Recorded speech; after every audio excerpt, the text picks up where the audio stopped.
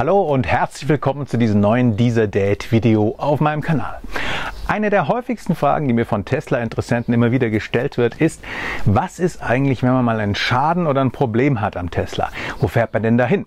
Ich habe das bisher gar nicht wirklich beantworten können, weil ich hatte noch nie ein Problem. Leider hat sich das geändert und das ist eine etwas längere Geschichte, die ich euch in diesem Video zusammengefasst habe. Das Ganze hat sich über zwei Monate hinweg gezogen und begann am 8. Mai, als ich auf dem Weg nach Köln war, um den Oscar zu besuchen. Jetzt habe ich ja gerade kürzlich erst ein Video gemacht mit einem Porsche dem E-Taycan und dabei festgestellt, dass eigentlich auch Porsche-Fahren ganz angenehm sein kann und vielleicht die ganzen Klischees gar nicht stimmen. Aber gerade eben auf der Autobahn hat leider ein Porsche-Fahrer genau die blödesten Klischees bestätigt. Ich kam aus einer Baustelle und fuhr auf der linken Spur und hinter mir fuhr ein Porsche Cayenne Turbo und dem war ich wohl nicht schnell genug beim Beschleunigen. Deswegen ist er auf die rechte Spur rübergezogen, an mir vorbeigebraust, dann wieder links vor mich und dann so lange auf der linken Seite auf dem Streifen gefahren, wo sehr viel Geröll lag, dass ich weder ihn noch sehen konnte, noch sein Nummernschild erkennen konnte. Und leider hat er bei dieser Gelegenheit dann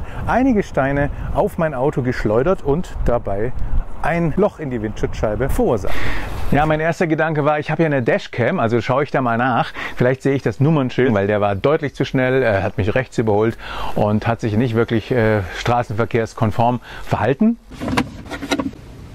Leider hatte ich in den letzten Wochen immer weggedrückt, wenn die Nachricht kam, dass mein USB-Laufwerk voll ist. Die letzten Videos, die noch verwertbar waren, sind von April. Fakt ist, ich habe keine Dashcam-Aufnahme und ich habe trotzdem ein Loch in der Windschutzscheibe.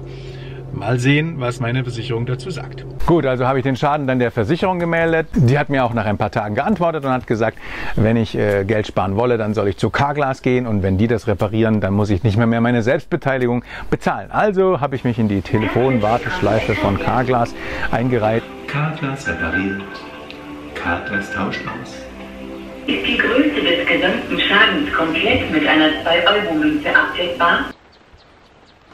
und nach wenigen äh, Minuten oder halben Stunden dann tatsächlich auch jemanden dran bekommen. Ich kann Ihnen gerne erstmal einen Besichtigungstermin geben, wo dann aber trotzdem die Zeit wäre, den noch zu reparieren. Da kann man drauf warten. Wenn das wirklich im Fahrersichtfeld ist, dann dürfen wir da nicht reparieren. Dann muss die Scheibe ausgetauscht werden. Gut, dann kann ich da mal morgen um 15 Uhr hin und lasse es anschauen. Super.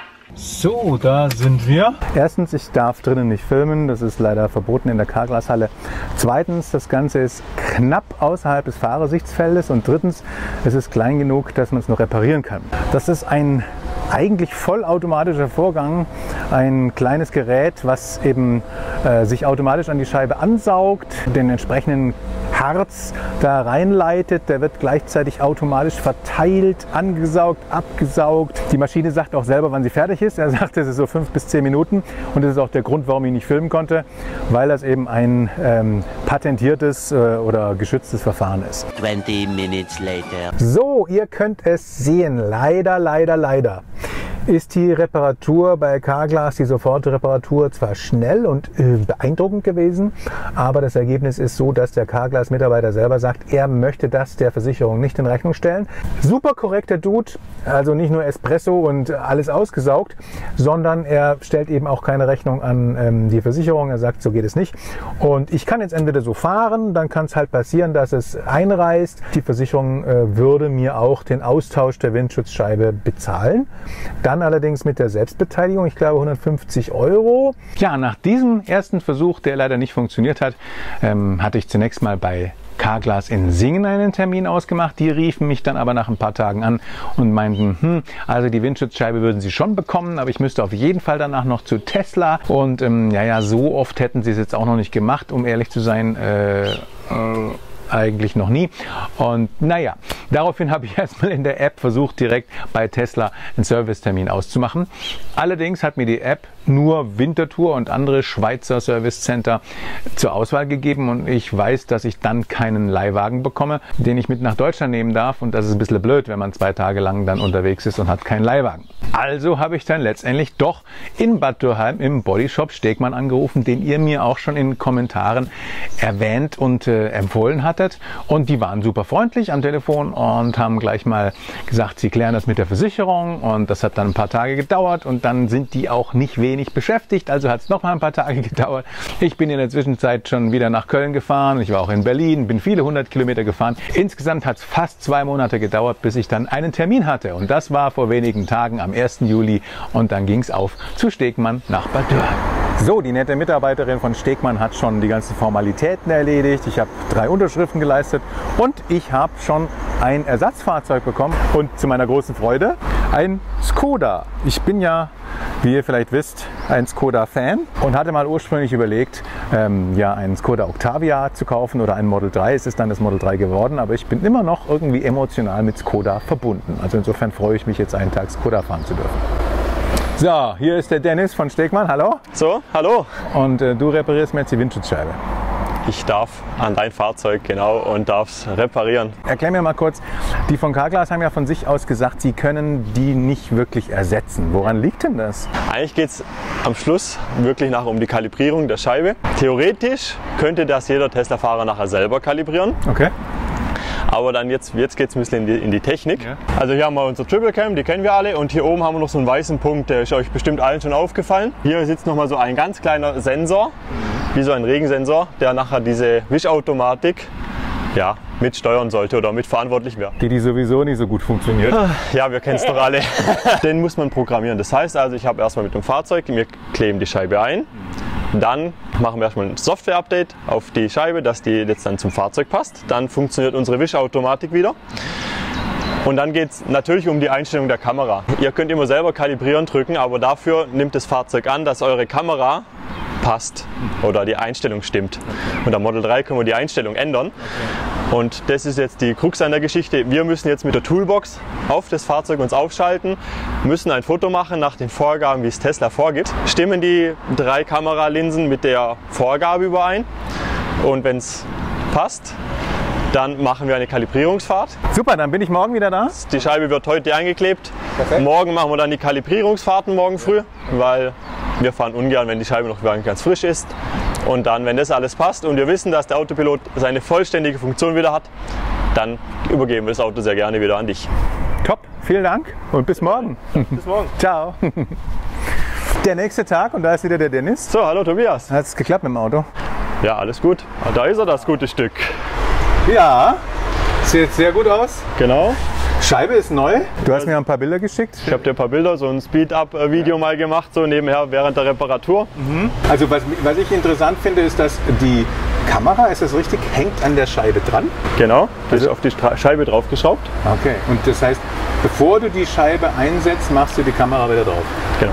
Und hinterher, und das war das, wo wir am Anfang drüber gesprochen haben, muss das Ding wieder kalibriert werden, dass diese drei Augen von der Kamera wieder passen. Genau. Und das macht ihr mit diesem, äh, mit diesem Verfahren, mit diesen schwarzen, weißen Kästchen da. Genau. Also das Verfahren ist an sich nicht neu. Also das macht jeder Autohersteller, hat eigentlich so, so eine Tafel, verschiedene Tafeln gibt es. Mhm. Tesla hat jetzt die Tafel, wo ihr jetzt noch seht. Und danach richtet man die Kamera aus. Okay. Und das Auto zeigt einem nachher, wo quasi meine Kamera steht. Und ich kann die jetzt bei Model 3 in der Höhe einstellen, sodass ich nachher, wie wir es bei dir auch mhm. gemacht haben, den idealen Mittelpunkt habe, damit die Kamera ordnungsgemäß funktionieren kann und sich danach selbst kalibrieren kann. Ich hatte im Winter mal Probleme mit der Kamera, weil sie, äh, weil in diesen Kästchen sich sozusagen Kondenswasser ja. oder sowas gesammelt hat und dann wurde die blind.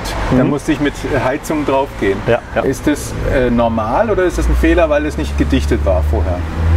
Also es gibt es ab und zu, ja. Okay, also kann aber ich, jetzt immer noch passieren. Ja, genau. Habe ich bei meinem oder bei unseren Teslas haben wir das auch, dass mhm. je nachdem, wie, wie das Fahrzeug draußen steht oder Feuchtigkeit auch sich im Fahrzeug befindet, einfach die Scheiben innen beschlagen. Und bis die Heizung nachher das da oben aufgelöst hat, dauert es vielleicht einen Moment, genau. Und was ich auch schon gesehen habe von außen, das gucke ich mir jetzt aber von innen an. Ah.